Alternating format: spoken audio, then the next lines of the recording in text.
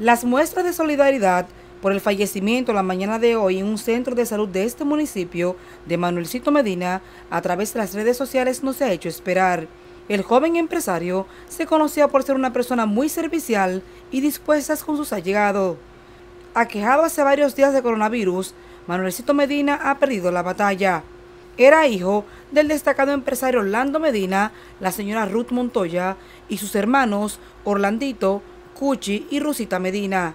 Debido a los procesos protocolares sanitarios, se procederá con sepultar el cadáver en el día de hoy. Familiares y amistades expresaron su pesar por el fallecimiento del reconocido empresario Medirejo.